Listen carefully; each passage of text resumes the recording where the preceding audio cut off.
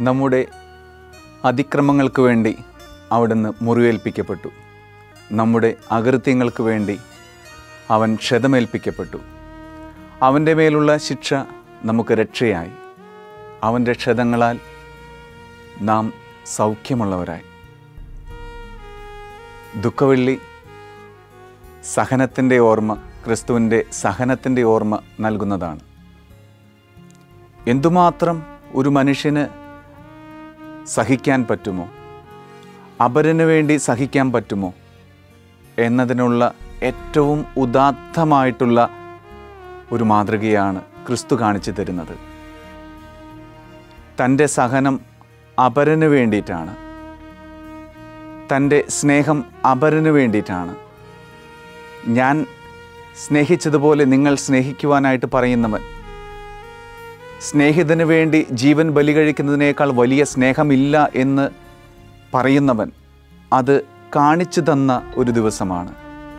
ഇങ്ങനെയും ഒരു വ്യക്തിക്ക് സ്നേഹിക്കാൻ സാധിക്കും. സഹിച്ച് സ്നേഹിക്കാൻ സാധിക്കും.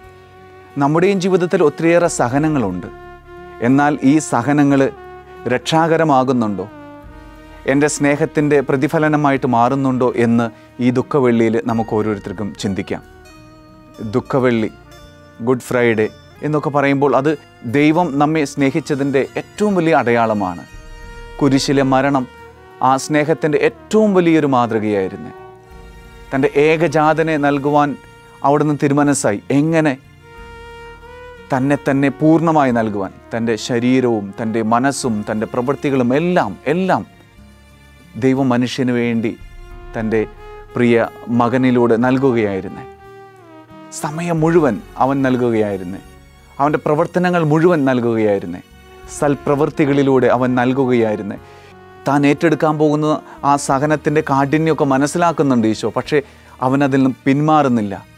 എന്റെ പിതാവിന്റെ ഇഷ്ടം പൂർത്തിയാക്കുവാനായിട്ട് അവൻ ആഗ്രഹിക്കുകയായിരുന്നു. പിതാവിന്റെ ഇഷ്ടം മനുഷ്യരായ നമ്മുടെ രക്ഷയായിരുന്നു. പ്രിയ സഹോദരങ്ങളെ ദുഃഖവെള്ളിയിൽ ഒന്നോർക്കുക. നമുക്കും ക്രിസ്തുവിനെ പോലെ സഹിക്കുവാനുള്ള കൃപയ്ക്ക് വേണ്ടി. ഇതര മതസ്ഥരൊക്കെ കാണുന്നത് ക്രിസ്തുവിന്റെ ഈ ഒരു സഹനത്തെക്കുറിച്ച് വളരെ മനോഹരമായിട്ടുള്ള ഒരു കാഴ്ചപ്പാടിലൂടെയാണ്. മഹാത്മാഗാന്ധി പോലും ക്രിസ്തുവിന്റെ സഹനത്തെ സഹനശക്തിയെ ഒരു ചെകിടുത്തടിക്കുന്നവന് മറു ചെകിട് കാണിച്ചു കൊടുക്കുക എന്ന് പറഞ്ഞ ആ ഒരു ആ വാക്യം പോലും ശിരസ വഹിക്കുന്നത് നമ്മൾ കാണുന്നുണ്ട് ചരിത്ര താളുകളിൽ എപ്പോഴും മനുഷ്യർ ആഗ്രഹിക്കുന്നത് ഇങ്ങനത്തെ ഒരു ദൈവത്തെ അല്ല ശരിക്കും പറയുമ്പോൾ. ശരിക്കും പറയുമ്പോൾ മറ്റ് ദൈവസങ്കല്പങ്ങളിൽ നിന്നൊക്കെ വളരെ വേറിട്ട് നിൽക്കുന്ന ഒരു ദൈവസങ്കല്പമാണ് ക്രിസ്തു കാണിച്ചു തരുന്നത്.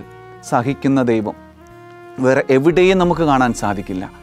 നിഗ്രഹിക്കുന്ന അല്ലെങ്കിൽ ശത്രുവിനെ ഇല്ലാതാക്കുന്ന ഒരു ദൈവത്തെ ദൈവസങ്കല്പത്തെ നമ്മൾ കാണുമ്പോൾ ഇവിടെ ക്രിസ്തു കാണിച്ചു തരുന്നത് ആ ഒരു സങ്കല്പമല്ല. സങ്കല്പമല്ല യാഥാർത്ഥ്യമായിട്ടാണ് ക്രിസ്തു കാണിച്ചു തരുന്നത് കുരിശിൽ കിടന്ന് മരിച്ചുകൊണ്ട്.